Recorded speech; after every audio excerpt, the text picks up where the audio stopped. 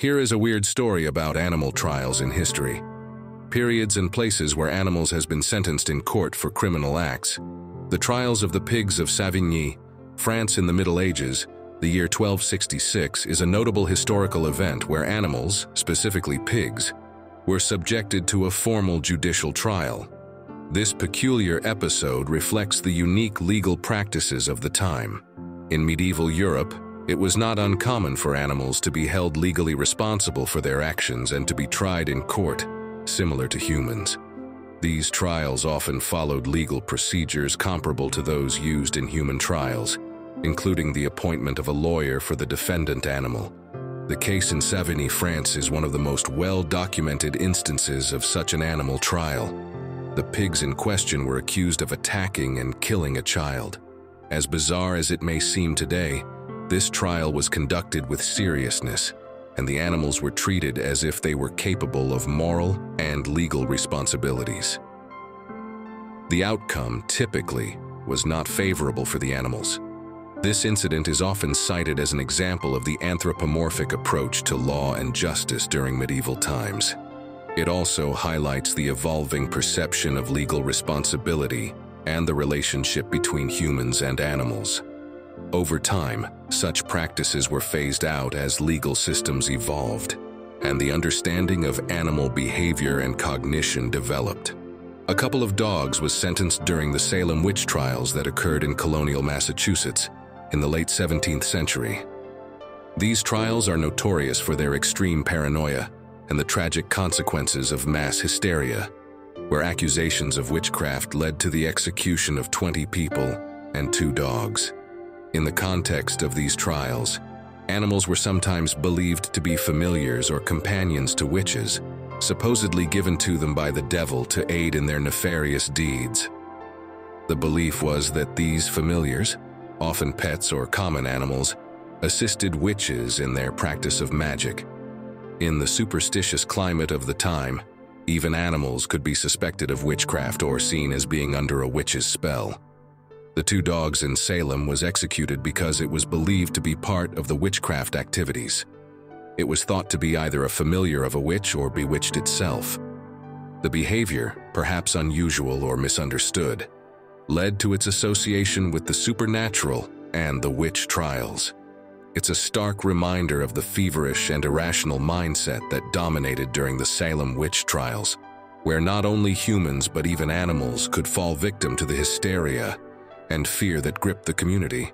This incident is often cited as an example of the extremities of the witch trials and the pervasive fear of witchcraft that could extend even to animals, further illustrating the profound social and psychological impacts of the Salem witch trials on the community.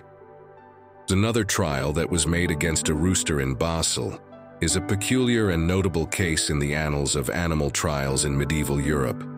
This trial took place in the city of Basel, Switzerland, in the 1470s. The rooster was put on trial for the unnatural act of laying an egg, which was considered an ominous sign and associated with dark magic and witchcraft. In those times, there was a prevalent belief in a creature known as the basilisk, a mythical serpent king said to hatch from a yolkless egg laid by a rooster. The basilisk was feared for its lethal powers, and its gaze alone was believed to bring death. Consequently, when the rooster in Basel was reported to have laid an egg, alarm spread among the populace, as it was feared that the egg could hatch into a basilisk. The authorities decided to put the rooster on trial, treating the case with the same seriousness as human trials. The charges against the rooster were based on the assumption that its actions were an affront to natural order and could be seen as linked to the devil and witchcraft. The trial proceedings reflected the superstitions and religious beliefs of the time, where natural anomalies were often interpreted as signs of evil or witchcraft. Ultimately, the rooster was found guilty and, along with the egg it had supposedly laid, was burned at the stake as a measure to ward off evil and protect the community. According to local folklore, a monkey was hanged in Hartlepool, England. During the Napoleonic Wars, a French ship was wrecked in a storm off the coast of Hartlepool.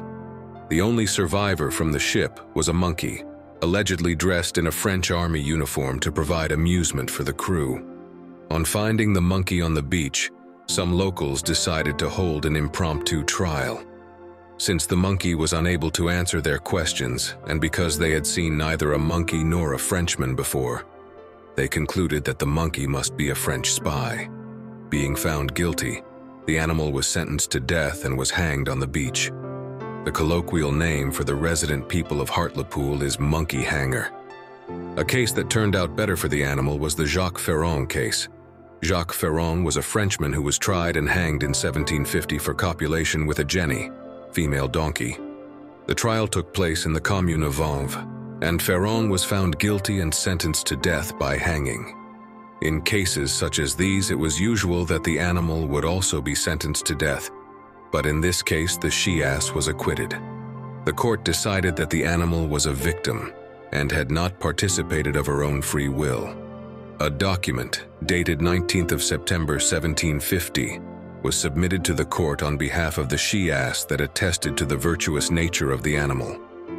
Signed by the parish priest and other principal residents of the commune, it proclaimed that they were willing to bear witness that she is in word and deed and in all her habits of life a most honest creature. In the 19th century, two dogs was punished without a court in San Francisco. Bummer and Lazarus were two stray dogs who became local celebrities in San Francisco during the 1860s. Their story is a heartwarming tale of canine friendship and survival, and they are remembered as symbols of the city's early days. Bummer was a black and white Newfoundland mix, known for his gentle nature. He first gained local fame as a stray when he started hanging around the saloons and establishments of Montgomery Street, particularly Frederick Martin's saloon. Bummer was named for his habit of bumming food off the patrons. Despite being a stray, he was well liked for his friendly demeanor and was often fed by local business owners and residents.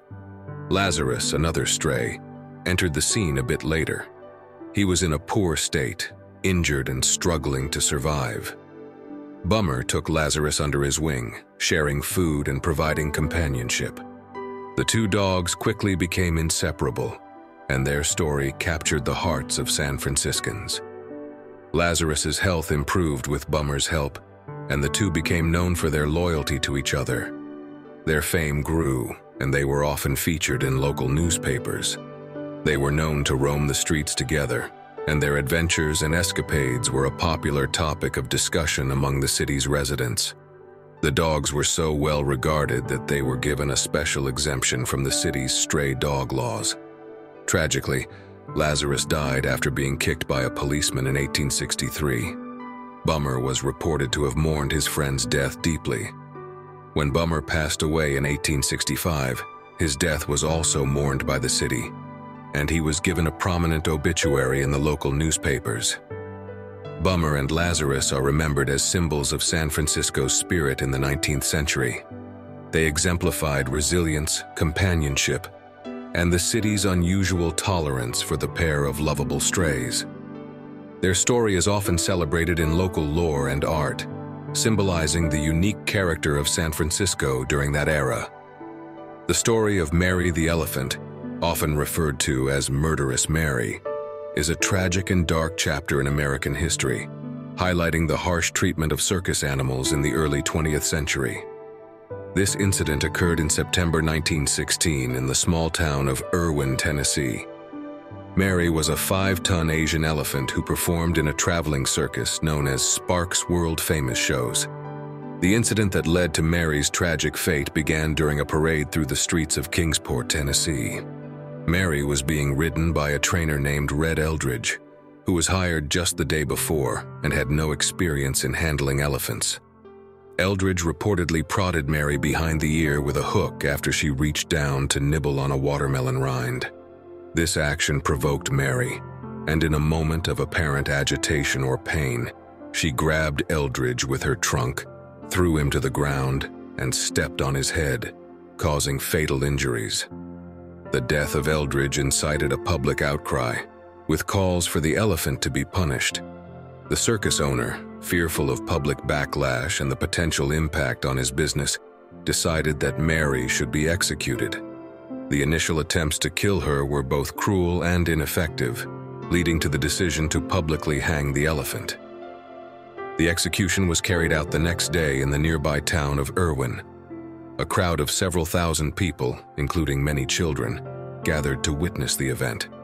Mary was hung using a chain around her neck and a railcar-mounted industrial crane.